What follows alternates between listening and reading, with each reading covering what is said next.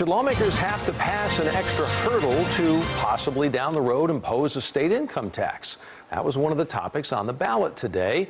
Political reporter Jack Fink is joining us in studio with what people are saying about that and even more. Jack? Well, Doug, voters overwhelmingly passed Prop 4, with most of the counties now reporting 77% voted for the constitutional amendment, 23% voted against it. It now requires a two thirds majority in each the Texas House and Texas Senate before lawmakers could call for a voter referendum on a state income tax. Right now, each chamber needs only a simple majority.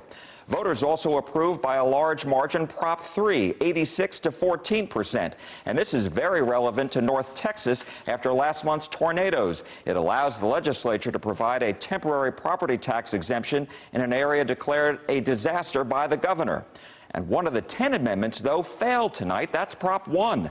It would have allowed elected municipal judges to serve in more than one city or town at the same time. Only appointed municipal judges can do so.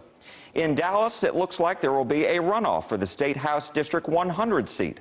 Lorraine Birabil, who's held a big lead all night, and Daniel Clayton are the top two vote getters so far. Either of them will succeed former State Representative Eric Johnson, who was elected Dallas mayor in June.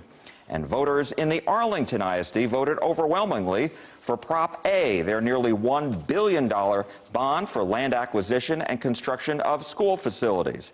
And Tarrant County voters are approving an $825 million bond package tonight for new construction and renovation of school buildings. Doug? Jack Fink, thank you for the rundown. Also passing tonight of note, something we've been watching here in recent days, constitutional amendment that is now going to allow canines, police canines, and other animals like them to live with their handlers in retirement. As we told you last week, up until now, it's kind of surprising, but many law enforcement animals were considered state property. So what would happen after retirement, they didn't go to their handler. They could only get auctioned off or face euthanasia. But that is now changing. We have full election results for every race in the DFW Metroplex. It's all on our website right now. Made it pretty easy to find. Just look for that big giant red bar. Get your attention right at the top of the page, cbsdfw.com.